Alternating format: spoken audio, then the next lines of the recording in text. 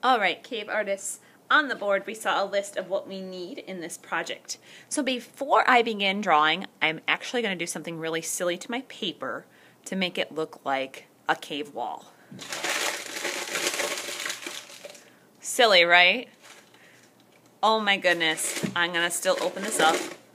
And just like a cave wall, my paper now has a really bumpy texture that looks like a rock. Your paper has even a torn edge today. So that's going to help it also be like a cave wall or a rock wall. So on the board, I know that I need at least one person on my project. So a person, like a cave artist drawing a person, isn't going to be really, really detailed. It's actually going to be a stick person. So I'm going to start with a dark head, and I'm not using pencil at all. I am just using crayon. I'm going to make a stick person. And maybe that stick person has some fingers. And maybe that stick person has a face. And he, he or she could have some hair. But I don't want to just leave them plain. I want to add some color around that person.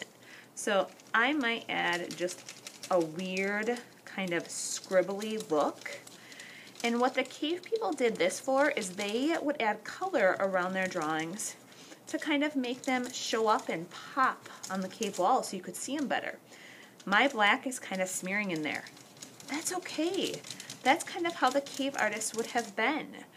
So maybe that cave person has, well, I'm going to do a little brown maybe. Any idea what this might be? Maybe this will help. It's a fire. That was an important thing for cave people. They'd have fire to cook their food, stay warm, have some light. I don't have all the colors for a real fire because cave people didn't have a lot of colors to choose from. They had to use colors that they would find in the dirt or in berries or in the charcoal of a fire.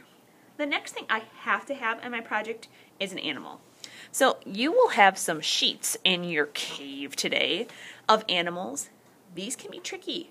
Your animal does not have to be as difficult as one of the ones on the sheet. If you would like to make an animal that is more of just a shape, like the body of my animal is going to be brown rectangle. And I know my animal is probably going to need a neck and some legs. And I'm going to do a oval head. I'm thinking this is looking like a horse. I'm going to give this horse some hair and some hair on the back and the horse needs a tail and maybe I'll switch colors and make the eye and the mouth kind of darker and I want this horse to stand out so I'm going to do a little color around it. So I didn't use one of the animals from the sheet. You can if you'd like. What else is on that list? I have to have a symbol. So a symbol is how cave people would tell their stories. And look, those kind of touch, no biggie. Cave people kind of just drew a little bit of um, all over the wall, a little bit of a picture all over the wall. And sometimes they didn't necessarily, they weren't about the same story or the same picture. Symbols. So here's a couple of symbols that they would use. A lot of them had to do with circles for the sun, or animal tracks, or shapes. So let's see, I'm going to make the sun. Big circle. And I don't have yellow, but I have an orange. But my sun doesn't have to be like a real sun.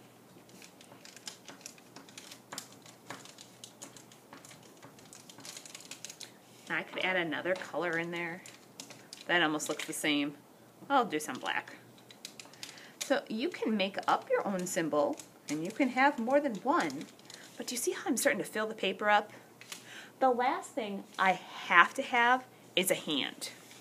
I'm going to make my own hand. I'm just going to trace it. And I'm going to trace with this kind of brownish orange color. Instead of coloring my hand in today, I'm going to do what I've been doing on all my pictures.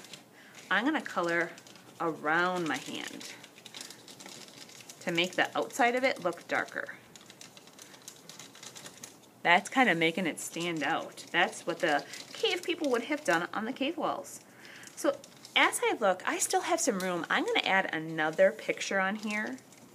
And then I think I am done. So I encourage you to have the four things from the list. A person, an animal, a symbol in your hand. But I would also like you to fill your paper.